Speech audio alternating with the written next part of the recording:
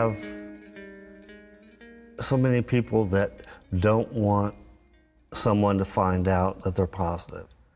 And the stigma keeps them from getting uh, care, uh, going to the health department or a doctor or whatever, and it keeps them from even starting medication.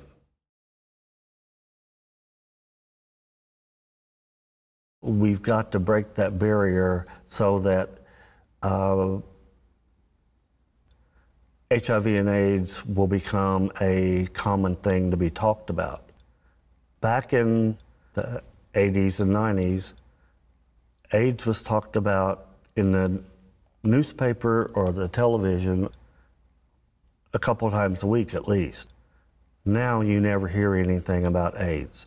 So we need to get AIDS back into the main street where uh, the public's talking about it, and our officials and everyone else is talking about it now.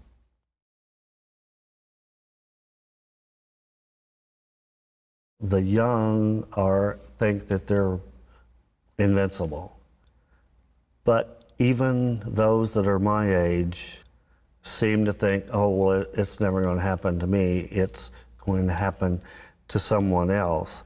And now you can uh, we have this weird people, some uh, weird thing that some say that now you you can only you only have to take a pill.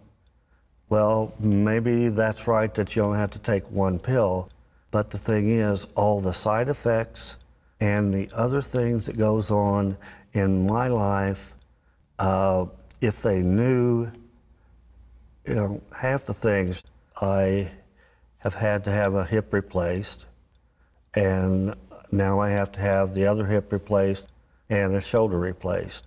And that's because I've been on HIV meds for so many years that it has built up in my system and created blood clots that make the socket actually disintegrate.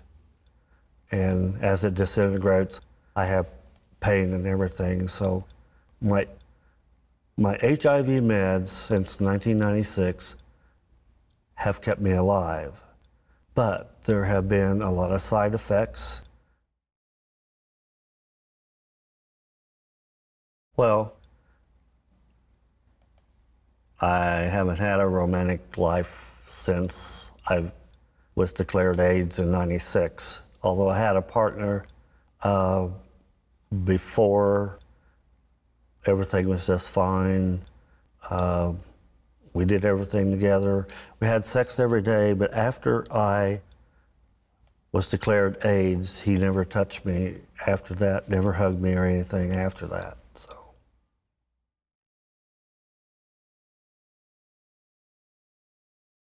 Just taking a pill is not the answer if you get HIV. So being cautious about everything.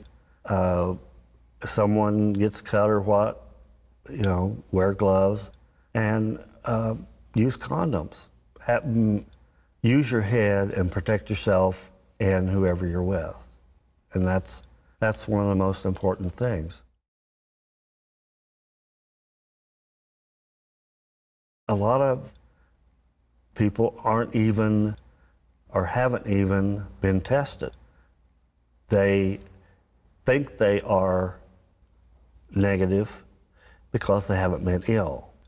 The illness is what uh, people relate to actually being positive or uh, like back in the 80s when our, our friends would get to be a skeleton you know, lose weight and wastings and the whole nine yards, uh, you could tell if someone had AIDS.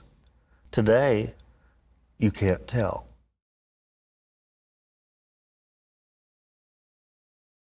It's something that's with you every day.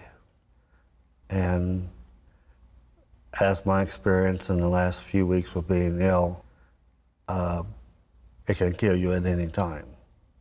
So you just have to take it one day at a time and uh, not let it get to you or, or not let it run your life. You have to be in control of it.